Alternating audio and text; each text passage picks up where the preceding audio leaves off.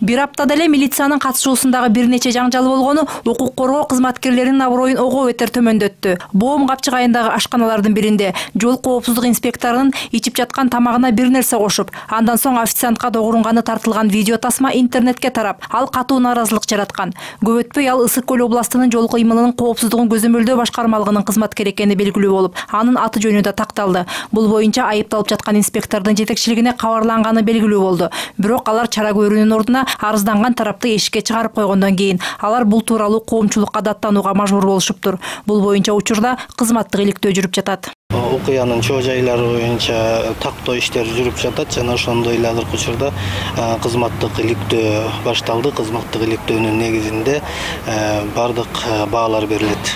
Жалпыга малымдоо каражаттарында баардыгында эле айтылып жатат ал ысык көл областы боюнча жол кыймылынын коопсуздугун камсыздоо бөлүмүнүн кызматкери ушундай окуяга кабылып жатат ал эми кечээ ош областында криминалдык милициянын капитаны өз жетекчисин чаап жибергени белгилүү болду. Айрым маалыматтар боюнча жетекчи менен кызматкердин ортосундагы чатак мындан үч жума мурда болгон. Окуя криминалдык милиция кызматынын жетекчисинин иш бөлмөсүндө болуп кол алдындагы кызматкерден таяк жеген милициянын полковниги бейтапканага кайрылган. Соттук медициналык экспертизанын корутундусуна ылайык. Жабырлануучунун жарааты анча деле оор эмес экен. Бирок окуя боюнча ден соолукка атайылап залал келтирүү беренеси боюнча кылмыш козголгон. Мындай окуя ички иштер министрлигинде тартиптин жоктугунан кабар берет дешет эксперттер. Ошондой эле аларда кызматтык этика өтө начарлап кетүүсүнүн белгиси катары бааланууда. Мезгил талап кыла баштады ошо атаандаштыктын негизинде кызматка алып ал эми бүгүнкү кызматкерлердин баарын тең контракттык негизге өткөзүш керек болуп атат да.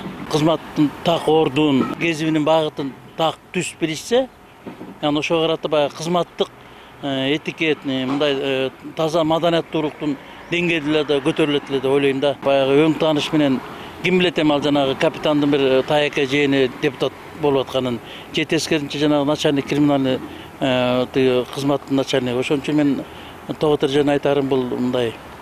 Чукул бир э, өзгөрүштү талап кылат да. Бул чыр чатактар басыла электе. Интернетте погончондордун жоруктарын ашкерелеген дагы бир тасма жарыяланды. Анда чүй областынын автоинспекторлору делген формачандар машинаны токтотуп айдоочу айым менен сүйлөшүп жатып бир маалда аны жаакка чаап жибергенин көрүүгө болот. Сокку абдан катуу болгондуктан кыз жерге жыгылып кеткен. Эртеси күнү тасманы алууга келген кыздын бетинде көк ала так калганын көрүшкөн. Учурда айдоочу айымга кол көтөргөндөр кайсы кызматкерлер экени такталып жатыптыр. Милициянын формасына жана погонуна таянып кызматтык абалын ашкере пайдаланган учур. Алгачкы ирет болуп жаткан жок буга чейин да кызматкерлердин жосунсуз жоруктары коомчулукка маалым болуп келген. Азыр милицияга мен иштейин ушул элиме жардам кылайын кылмыштуулук менен күрөшөйүн деп келбейт.